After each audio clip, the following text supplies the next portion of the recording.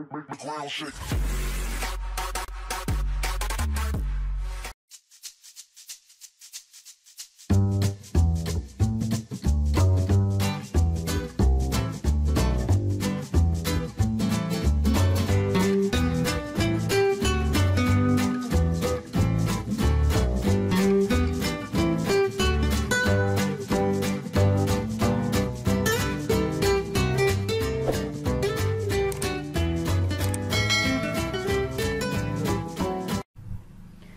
Good morning students. In this session I am going to do the revision of the first chapter that is nature and significance of management.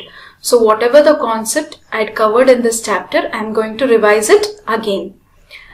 So first I had covered with the definition. Suppose 2 marks ಗೆ define management ಅಂತ ಕೇಳಿದ್ರು ಅಂತ ಅಂದ್ರೆ according to author ನೀವು ಬರಿಬೇಕಾಗುತ್ತೆ so ಏನ್ definition ಇದೆ so as it is ನೀವು ಬರಿಬೇಕಾಗುತ್ತೆ so here I have given the definition of Kreitner management has been defined as the process of working with and through others to effectively achieve organizational objectives by efficiently using limited resources in the changing environment.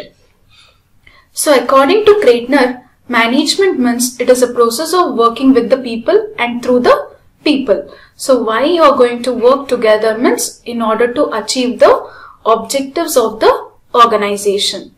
So objectives of the organization ಅಂತ ಅಂದ್ರೆ, ಈಗ ಯಾವುದೇ ಒಂದು organisation ತಗೊಳ್ರಿ ಅದರದೇ ಆದ objectives ಇರುತ್ತೆ. For example profit earn ಮಾಡೋದಾಗಿರ್ಬೋದು ಅಥವಾ ಸೇಲ್ಸ್ನ ಇನ್ಕ್ರೀಸ್ ಮಾಡೋದಾಗಿರ್ಬೋದು. ಆ ಎಲ್ಲ ಆಬ್ಜೆಕ್ಟಿವ್ಸ್ನ ಯಾರು ಅಚೀವ್ ಮಾಡ್ತಾರೆ ಅಂತ ಅಂದ್ರೆ the people who are working there in the organization they are going to achieve the organizational objectives.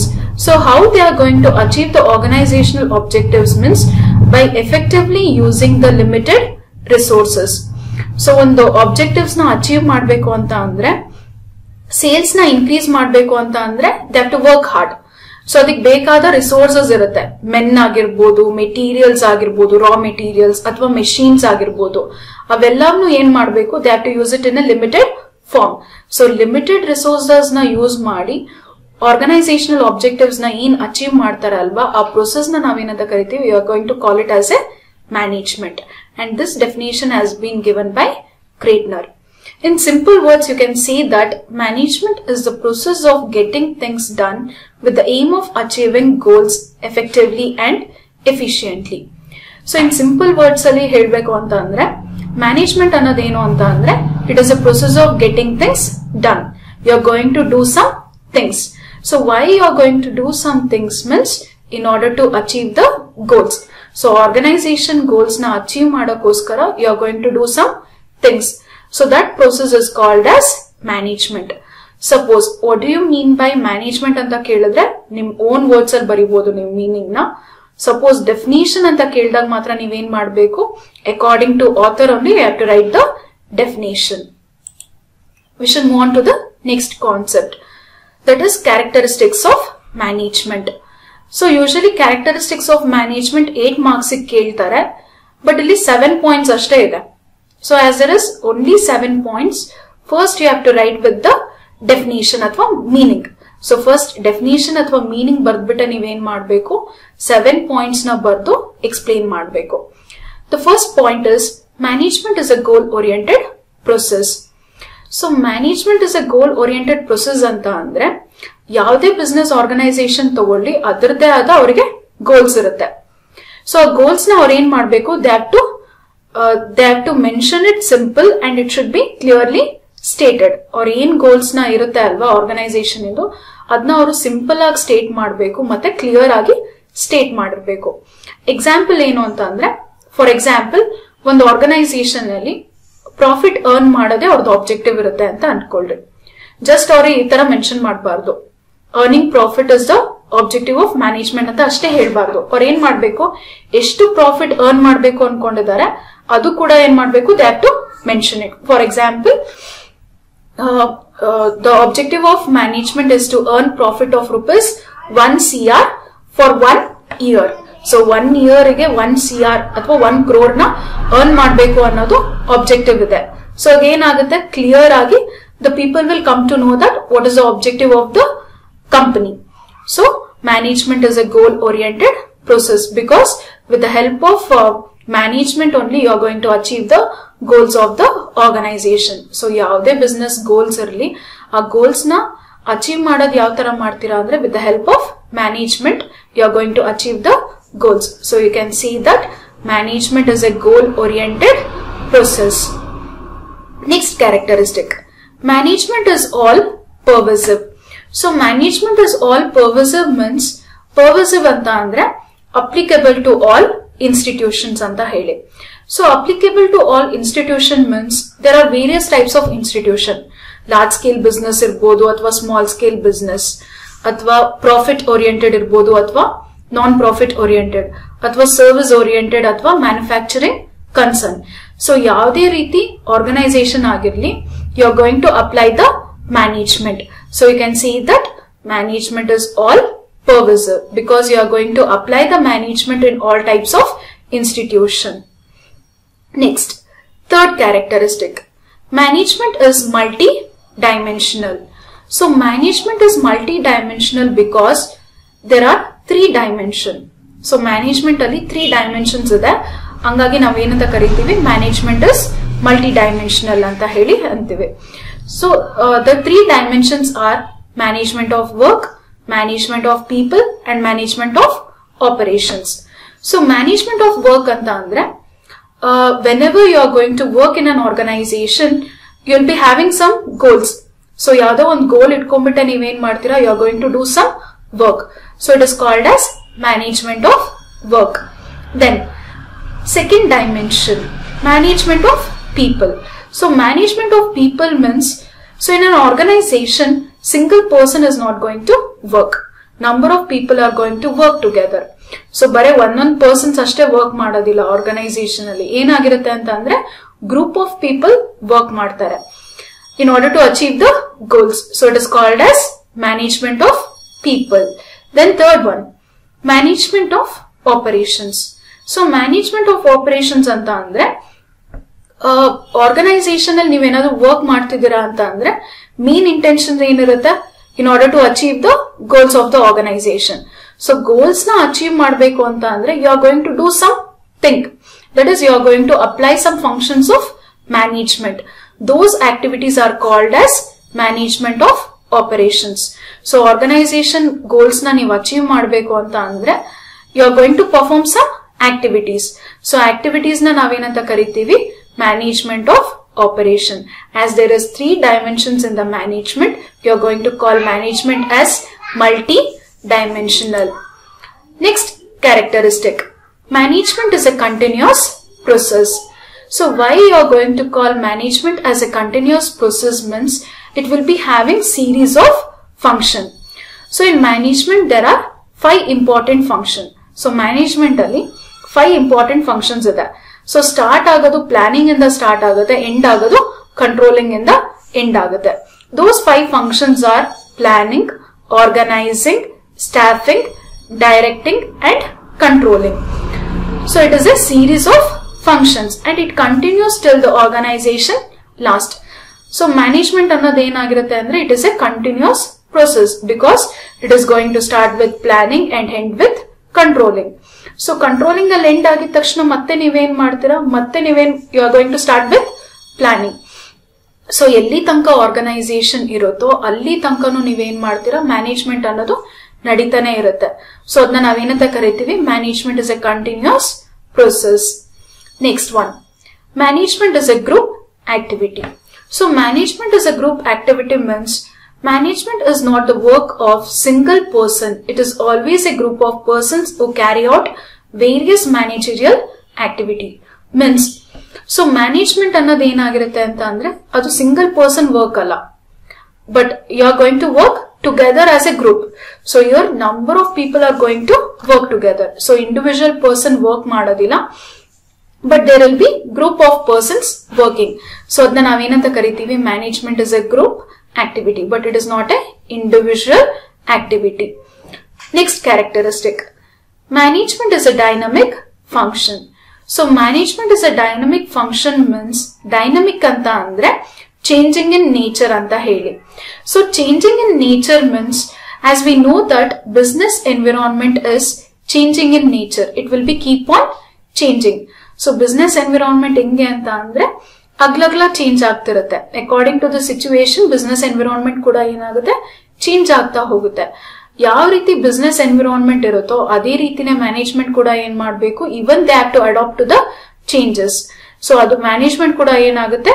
Changes adapt ಆಗುತ್ತೆ. So you can call that management is a dynamic function because it is going to change according to the changing environment next one management is an intangible force so intangible ಅಂತ ಅಂದ್ರೆ you cannot see it but you can feel it so management ಅನ್ನೋದು ಕೂಡ ಏನಾಗಿರುತ್ತೆ ಅಂದ್ರೆ it is an intangible force because you cannot see the management so ಮ್ಯಾನೇಜ್ಮೆಂಟ್ನ ನೀವು ನೋಡಕ್ ಆಗೋದಿಲ್ಲ but ನೀವೇನ್ ಮಾಡ್ಬೋದು you can feel it how you can feel means by getting the result so ಯಾವಾಗ ಒಂದು ಗೋಲ್ಸ್ ಅಚೀವ್ ಆಗುತ್ತೆ, ಅವಾಗ ನಿಮಗೆ ಗೊತ್ತಾಗುತ್ತೆ ಓ with the help of management you have achieve the goals So you can see that management is an intangible force. So these are the various characteristics of management and it is a very important concept.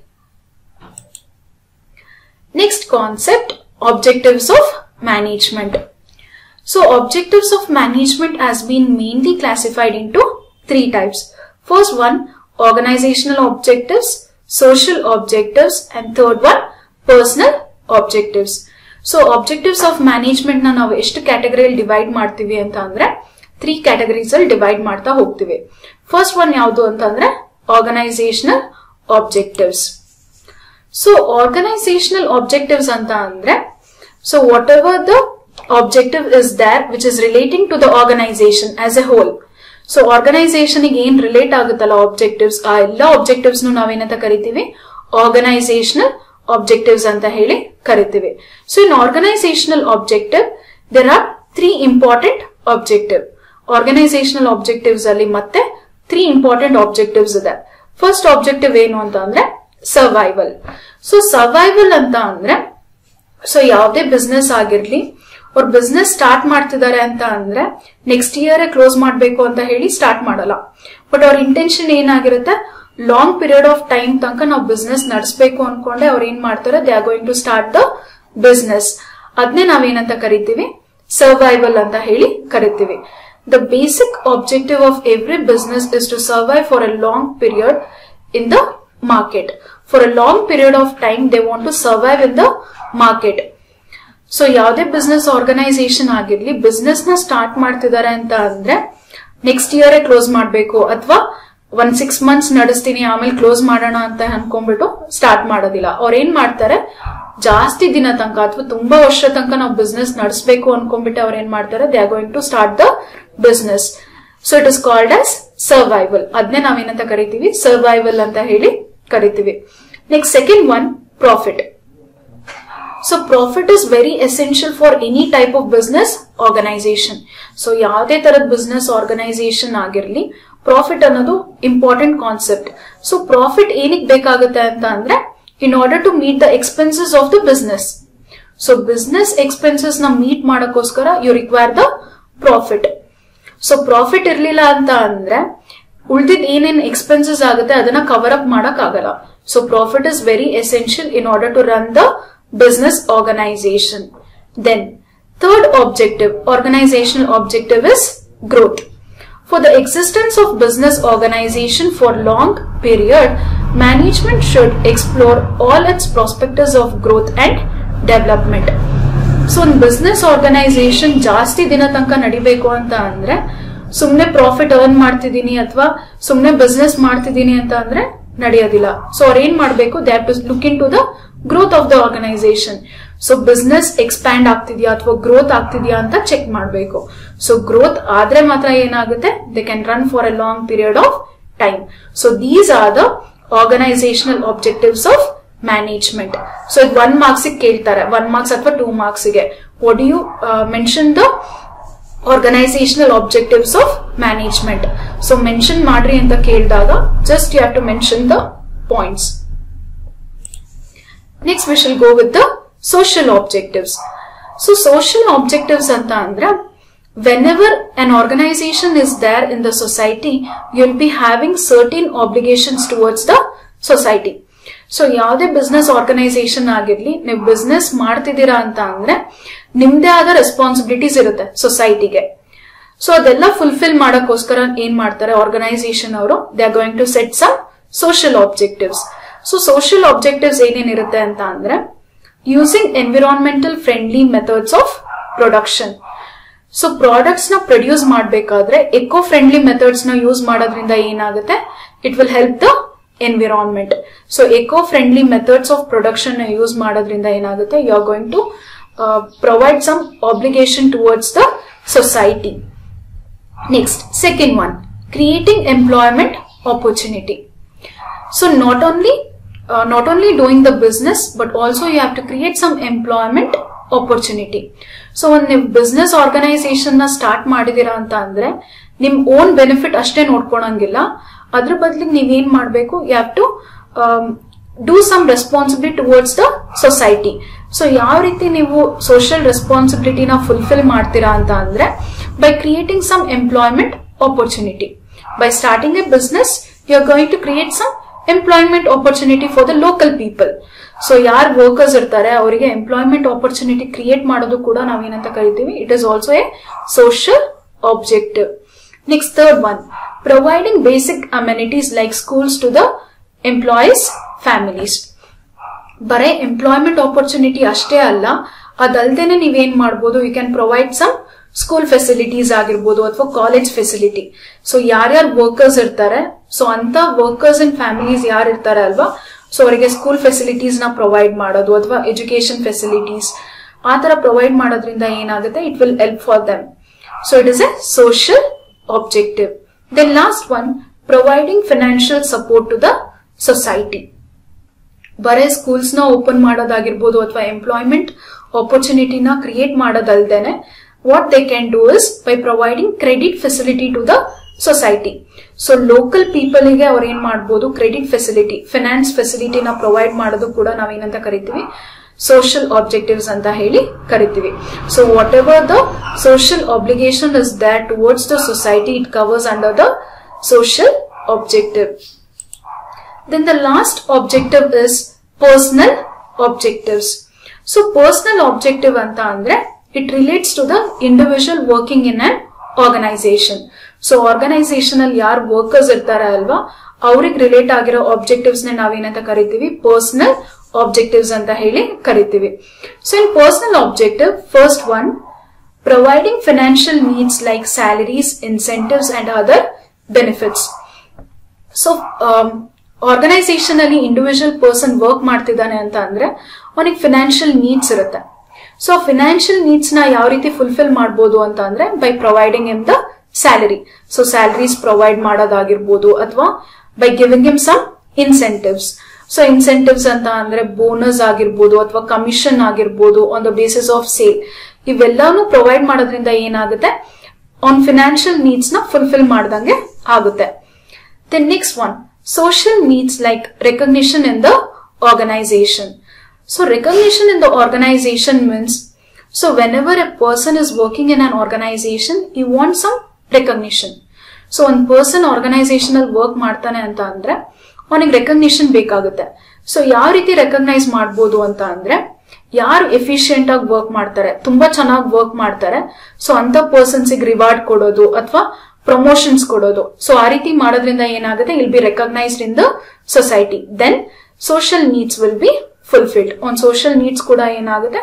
Fulfil ಆಗುತ್ತೆ by giving him recognition in the society Then third one, higher level needs.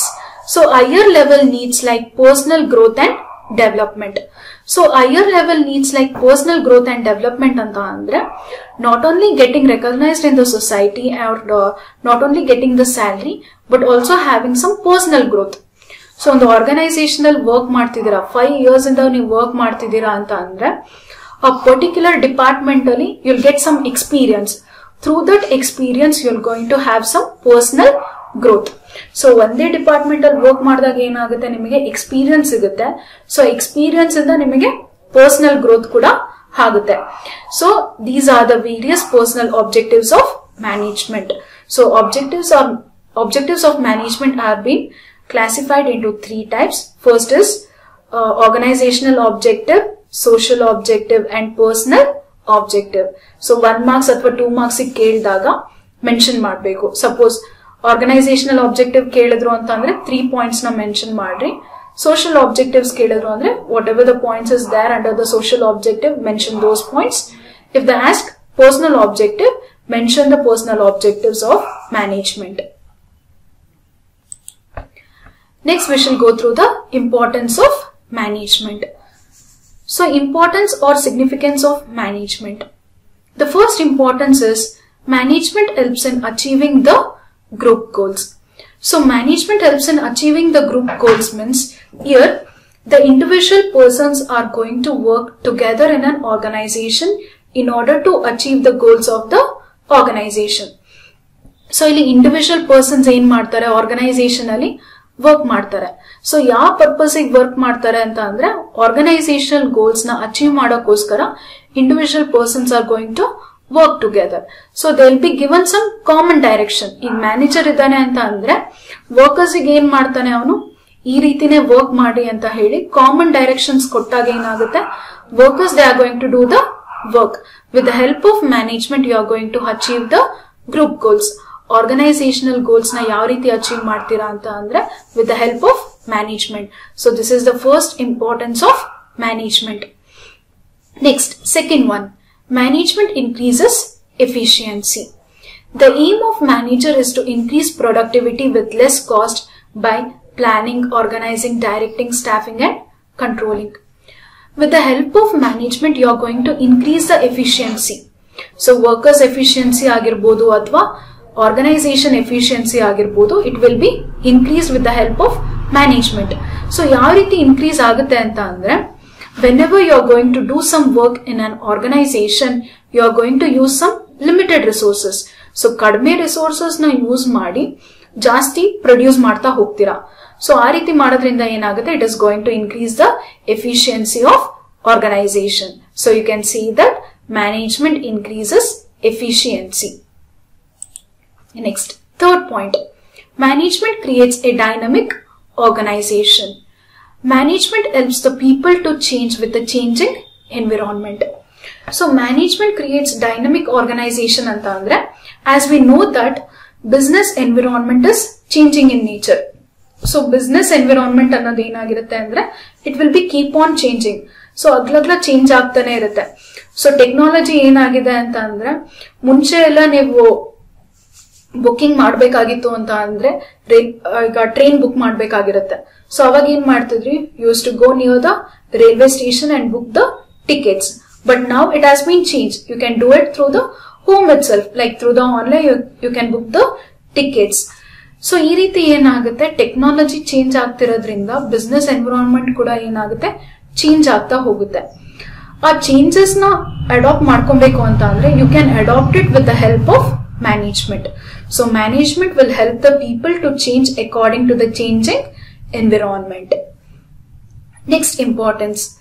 Management helps in achieving personal objectives. So management not only helps in achieving the group objectives, but also it helps in achieving the personal objective. So management ಇಂದ organisational objectives ಅಷ್ಟೇ ನೀವು achieve ಮಾಡೋದಿಲ್ಲ but also group objectives ಅಥವಾ Personal ಆಬ್ಜೆಕ್ಟಿವ್ಸ್ನ ಕೂಡ ನೀವೇನ್ ಮಾಡ್ತೀರಾ? You are going to achieve it with the help of management so personal objectives ಅಂತ ಅಂದ್ರೆ, ಈಗ ಇಂಡಿವಿಜುವಲ್ ಪರ್ಸನ್ ಕೆಲಸ ಮಾಡ್ತಿದ್ದಾನೆ ಅಂತ ಅಂದ್ರೆ ಅವನ್ ಆಬ್ಜೆಕ್ಟಿವ್ ಏನ್, ಏನಿರುತ್ತೆ ಅಂತ ಅಂದ್ರೆ ಸ್ಯಾಲ್ರಿ ಅರ್ನ್ ಮಾಡೋದಾಗಿರ್ಬೋದು ಅಥವಾ ಸೊಸೈಟಿಯಲ್ಲಿ ರೆಕಗ್ನೈಸ್ ಆಗಬೇಕು ಅಂತ ಹೇಳಿ ಕೆಲಸ ಮಾಡ್ತಿರ್ತಾನೆ. ಆ ಆಬ್ಜೆಕ್ಟಿವ್ಸ್ ಕೂಡ ಏನ್ ಮಾಡಬಹುದು you can achieve it through the help of management so you can see that management helps in achieving the personal objectives of individual so individual person ಇಂದ ಏನ್ ಆಬ್ಜೆಕ್ಟಿವ್ಸ್ ಇರುತ್ತೆ ಅಲ್ವಾ? ಆ ಆಬ್ಜೆಕ್ಟಿವ್ಸ್ ಕೂಡ ನೀವೇನ್ ಮಾಡಬಹುದು you can achieve it with the help of management next one management helps in the development of society so management helps in the development of society means um, not only the business organization are going to get developed, but also it helps in the development of the society so ಬರೀ business organisation ಅಷ್ಟೇ develop ಆಗೋದಿಲ್ಲ. But ಏನಾಗುತ್ತೆ? Management with the help of management you are going to develop the society so ಸೊಸೈಟಿಗೂ ಕೂಡ ನಾವೇನ್ ಮಾಡ್ತೀವಿ? You are going to make the development of the society ಯಾವ ರೀತಿ develop ಆಗುತ್ತೆ ಅಂತ ಅಂದ್ರೆ by producing good quality product so ಒಳ್ಳೆ quality ಪ್ರಾಡಕ್ಟ್ನ ಪ್ರೊಡ್ಯೂಸ್ ಮಾಡೋದ್ರಿಂದ it is going to help the society and develops the society ಅಥವಾ ಎಂಪ್ಲಾಯ್ಮೆಂಟ್ ಆಪರ್ಚುನಿಟಿ ಕ್ರಿಯೇಟ್ ಮಾಡೋದು. ಅಥವಾ ಸ್ಕೂಲ್ಸ್ ಅಥವಾ ಕಾಲೇಜಸ್ನ ಸ್ಟಾರ್ಟ್ ಮಾಡೋದ್ರಿಂದ ಏನಾಗುತ್ತೆ? It is going to help the society and it is going to help in the development of the society so these are the various importance of management Next one, levels of management. So in levels of management, there are mainly three levels. First one, top level management. Second one, middle level management. And third one, supervisory level management.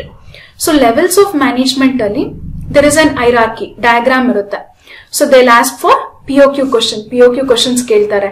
Draw the, draw a neat diagram of levels of management ಅಂತ ಕೇಳಿದಾಗ you have to write this diagram So here there is a diagram it shows the different levels of management top level middle level or operational level or supervisory level so top level ಅಲ್ಲಿ ಯಾರ್ಯಾರು ಬರ್ತಾರೆ ಅಂತ ಅಂದ್ರೆ are the examples for the top level are board of directors ಆಗಿರ್ಬೋದು, ಅಥವಾ managing director chairman president vice president so these people are going to come under the top level management ಆಮೇಲೆ top level management and work ಏನಿರುತ್ತೆ ಅಂದ್ರೆ they're going to make the plan.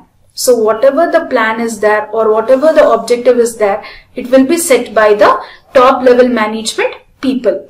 So top level or in Martha, they're going to set the objectives of the management and they're going to make the plans regarding the organization.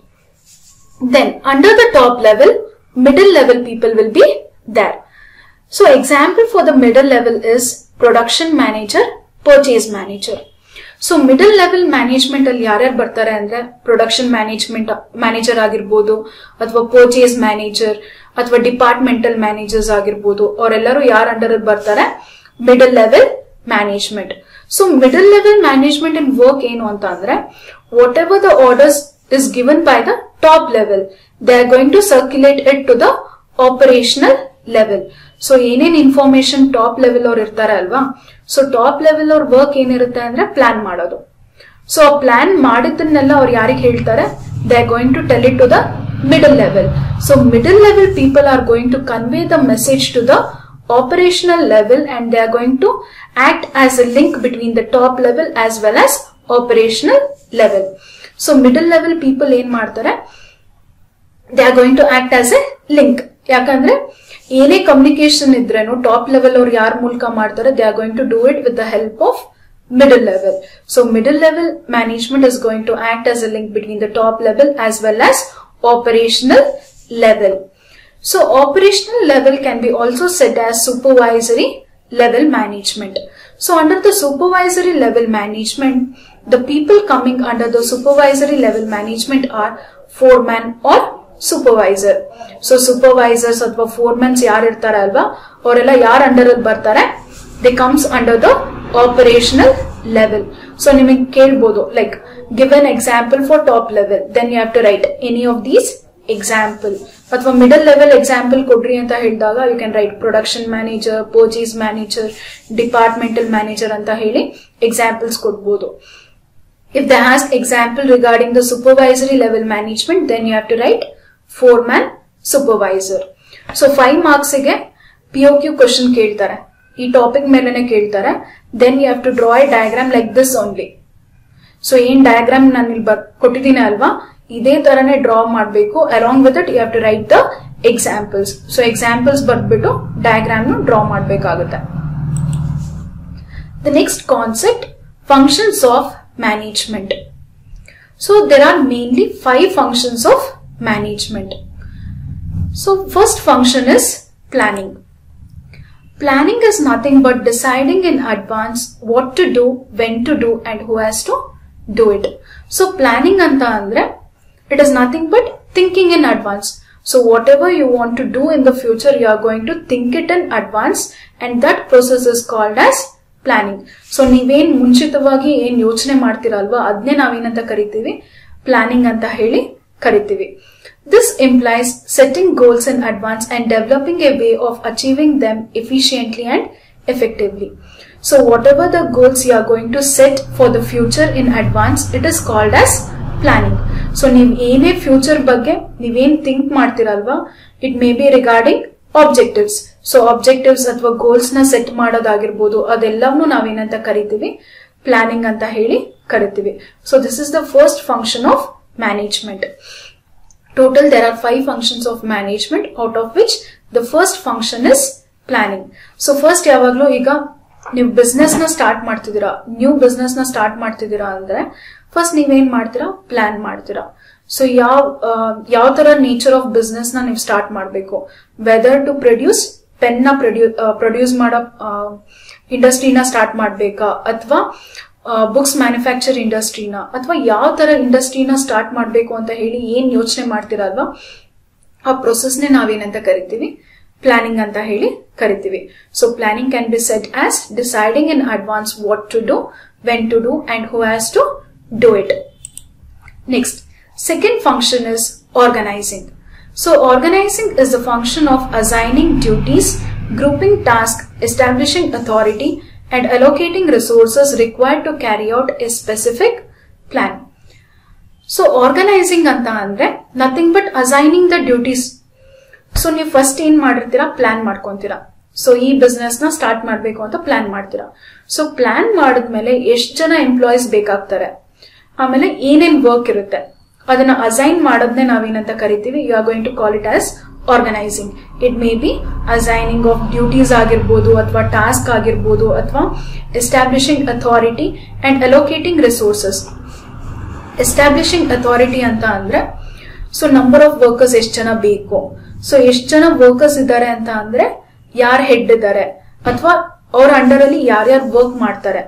So ಇದೆಲ್ಲಾನು allocation ಮಾಡೋದನ್ನೇ ನಾವೇನಂತ ಕರಿತೀವಿ? You are going to call it as organizing it determines what activities and resources are required so ಏನ್ activity ಮಾಡಬೇಕು, ಮತ್ತೆ ಏನೇನ್ resources ಬೇಕಾಗುತ್ತೆ ಅಂತ ಹೇಳಿ you are going to determine it through the help of organizing so organizing involves the grouping of required task into manageable department so you are going to group the task so whatever the task is there you are going to group it with the help of organizing so first ನೀವೇನ್ ಮಾಡ್ತೀರಾ? Plan ಮಾಡ್ತೀರಾ.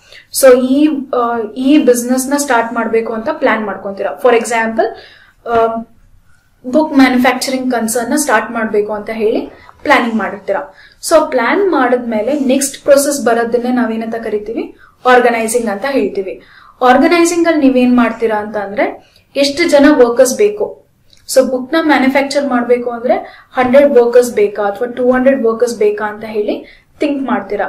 ಅದಾದ್ಮೇಲೆ ಯಾವ್ಯಾವ ವರ್ಕರಿಗೆ ಏನೇನ್ works ಇರುತ್ತೆ ಅಂತ ಹೇಳಿ allocation ಮಾಡ್ತಾ ಹೋಗ್ತೀರಾ. ರೆಸ್ಪಾನ್ಸಿಬಿಲಿಟಿ ಅಥವಾ ಅಥಾರಿಟಿನ ಅಲೋಕೇಟ್ ಮಾಡ್ತಾ ಹೋಗ್ತೀರಾ.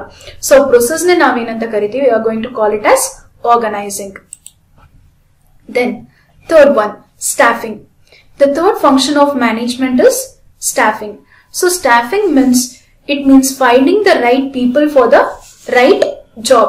Whenever you are going to do the organizing ಈಗ ನೀವು ಸೆಟ್ ಮಾಡ್ತೀರಾ, ಇಷ್ಟು ಜನ ಎಂಪ್ಲಾಯೀಸ್ ಬೇಕು ಅಂತ ಹೇಳಿ. ಸೊ ಇಷ್ಟು ಜನ ಎಂಪ್ಲಾಯೀಸ್ ಬೇಕು ಅಂತ ಹೇಳಿ ನೀವು ಸೆಟ್ ಮಾಡಿದ್ಮೇಲೆ you want to appoint those employees so ಎಷ್ಟು ಎಂಪ್ಲಾಯೀಸ್ ಬೇಕಾಗುತ್ತೆ ಅಂತ ನಿಮಗೆ ಗೊತ್ತಾದ್ಮೇಲೆ ನೀವೇನ್ ಮಾಡ್ತೀರಾ you are going to recruit those employees so that process is called as staffing that is finding the right people for the right job so particular job right ಜಾಬ್ಗೆ right ಪೀಪಲ್ನ choose ಮಾಡೋದನ್ನೇ ನಾವೇನಂತ ಕರಿತೀವಿ? ಸ್ಟಾಫಿಂಗ್ ಅಂತ ಹೇಳಿ. ಕರಿತೀವಿ. And this function is also called as human resource function as you are going to recruit the employees you are going to call staffing as human resource function and it involves activities such as recruitment, selection, placement, training of personnel. So staffing ಅಂತ ಅಂದ್ರೆ ಏನೇನ್ activities involve ಆಗುತ್ತೆ ಅಂದ್ರೆ it may be recruitment so recruitment ಅಂತ ಅಂದ್ರೆ inter internal sources of recruitment ಆಗಿರ್ಬೋದು ಅಥವಾ external sources of recruitment ಆಗಿರ್ಬೋದು. Recruiting the employees through the internal sources or recruiting the employees through the external sources ಆಗಿರ್ಬೋದು. Or selecting the employees so for example recruitment ಅಲ್ಲಿ campus selection ಮಾಡಿಬಿಟ್ಟು campus selection ಮಾಡಿ ಎಂಪ್ಲಾಯೀಸ್ನ select ಮಾಡ್ತೀರಾ ಅಂತ ಅನ್ಕೊಳ್ರಿ.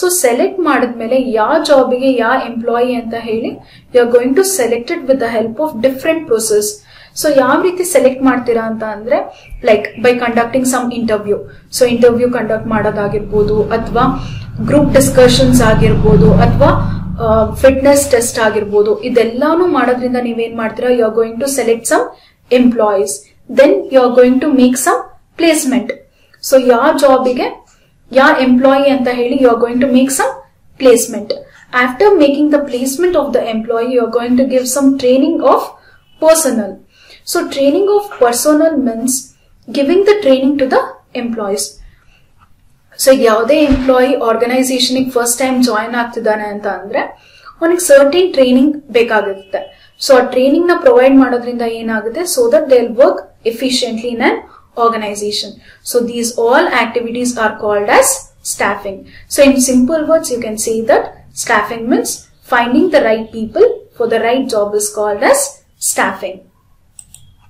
The next function is directing. So directing means it involves leading, influencing and motivating employees to perform the task assigned to them. Means, so after after the staffing process, you are going to direct the direct the work to the employees. So staffing process ಆದ್ಮೇಲೆ ಯಾರ್ಯಾರು employees appoint ಆಗಿರ್ತಾರಲ್ಲ, ಆ ಎಲ್ಲ employees ನೀವೇನ್ ಮಾಡ್ತೀರಾ you are going to give some direction so direction ಏನು ಅಂತ ಅಂದ್ರೆ, ಈ ವರ್ಕ್ನ ಮಾಡಬೇಕು, ಈ ವರ್ಕ್ನ ಕಂಪ್ಲೀಟ್ ಮಾಡಬೇಕು ಅಂತ ಹೇಳಿ ಹೇಳಿರ್ತೀರ ಅಲ್ವಾ so that is what called as directing so it involves leading influencing and motivating employees So why you are going to motivate the employees means in order to perform the task. So whatever the task is there, uh, those tasks will be performed by the employees by the direction of manager. So manager ಏನ್ ಮಾಡ್ತಾನೆ ಈ work ನ complete ಮಾಡಬೇಕು so ಆ work ನ complete ಮಾಡಬೇಕು ಅಂದ್ರೆ you have to give some motivation ಓ ನೀನ್ ಚೆನ್ನಾಗಿ ಮಾಡ್ತೀಯ ವರ್ಕ್ ಅಂತ ಹೇಳಿ ಮೋಟಿವೇಟ್ ಮಾಡಿದಾಗ ಏನಾಗುತ್ತೆ employees are going to work efficiently so that process is called as directing. So, directing involves communicating effectively as well as supervising employees at work. So directing ಅನ್ನೋದು ಏನು ಅಂತ ಅಂದ್ರೆ you are going to communicate effectively with the workers so ನೀವು ಎಂಪ್ಲಾಯಿಗೆ ಇದನ್ನೇ work ಮಾಡಬೇಕು ಅಂತ ಹೇಳಿದಾಗ ಏನ್ ಮಾಡ್ತೀರಾ? You are going to communicate with the workers by communicating with the workers you are going to direct some activities so that process is called as directing. So it involves communicating effectively as well as supervising employees at work. Then the last function of management is controlling. So after all the four function, the last function is controlling. ನೀವು ಎಂಪ್ಲಾಯೀಸಿಗೆ ಹೇಳಿರ್ತೀರಾ ಈ ವರ್ಕ್ನ particular ಟೈಮಲ್ಲಿ complete ಮಾಡಬೇಕು ಅಂತ ಹೇಳಿ so complete ಮಾಡಿದಿರೋ ಇಲ್ಲೋ ಅಂತ ಹೇಳಿ ನೀವೇನ್ ಚೆಕ್ ಮಾಡ್ತೀರಾ ಅಲ್ವಾ ಆ ಪ್ರೊಸೆಸ್ನೇ ನಾವೇನಂತ ಕರಿತೀವಿ ಕಂಟ್ರೋಲಿಂಗ್ ಅಂತ ಹೇಳಿ ಕರಿತೀವಿ. So in the process of controlling controlling means it is a function of monitoring organizational performance towards attainment of organizational goals you are going to monitor what is the performance of organization so people ಯಾವ ರೀತಿ work ಮಾಡ್ತಿದ್ದಾರೆ? ಗೋಲ್ಸ್ನ achieve ಮಾಡಿದ್ರೋ ಇಲ್ಲೋ ಅಂತ ಹೇಳಿ ಏನ್ check ಮಾಡ್ತಿರಲ್ಲ, ಆ process ನಾವೇನಂತ ಕರಿತೀವಿ? ಕಂಟ್ರೋಲಿಂಗ್ ಅಂತ ಹೇಳಿ ಕರಿತೀವಿ. So controlling involves establishing standards of performance measuring current performance, comparing this with the established standards and taking corrective actions where derivation is found. So, controlling ಅಂತ ಅಂದ್ರೆ you are going to establish standards of performance. For example, pencil manufacturing concern ಇದೆ ಅಂತ ಅನ್ಕೊಳ್ರಿ so per day ನೀವೇನ್ ಮಾಡಿರ್ತೀರಾ? ಸ್ಟ್ಯಾಂಡರ್ಡ್ಸ್ನ fix ಮಾಡಿರ್ತೀರಾ? That is per day hundred ಯೂನಿಟ್ಸ್ನ produce ಮಾಡಬೇಕು ಅಂತ ಹೇಳಿ fix ಮಾಡಿರ್ತೀರಾ? So hundred is the minimum amount of production so ಅದನ್ನ ನಾವು ಸ್ಟ್ಯಾಂಡರ್ಡ್ ಪರ್ಫಾರ್ಮೆನ್ಸ್ ಅಂತ ಹೇಳ್ತೀವಿ. Suppose and measuring the current performance so measuring the current performance ಅಂತ ಅಂದ್ರೆ ಸ್ಟ್ಯಾಂಡರ್ಡ್ ಪರ್ಫಾರ್ಮೆನ್ಸ್ ಎಷ್ಟಿದೆ? ಹಂಡ್ರೆಡ್ ಇದೆ.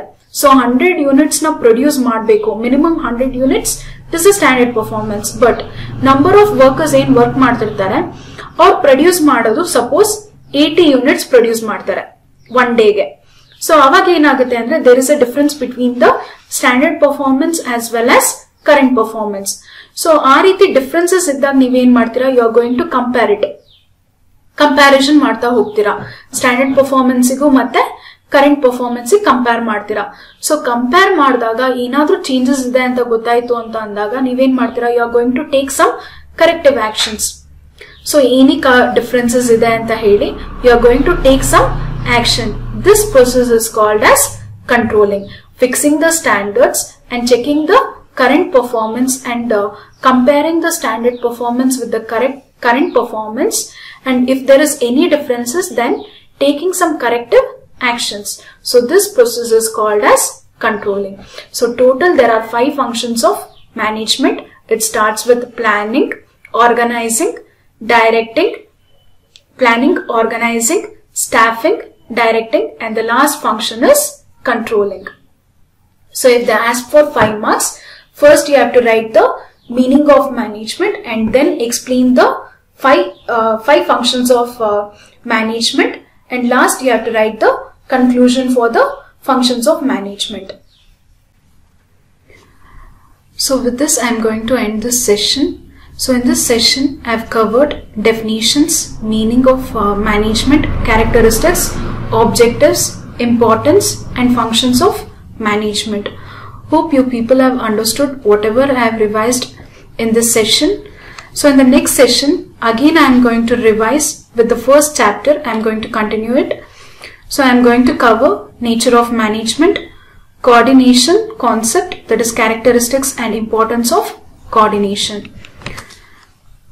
So in this session, I am not going to give any assignment. Just go through these concept, whatever I have covered in all these videos. So if there is any doubt, you can contact me through WhatsApp or you can call me at any time. Thank you.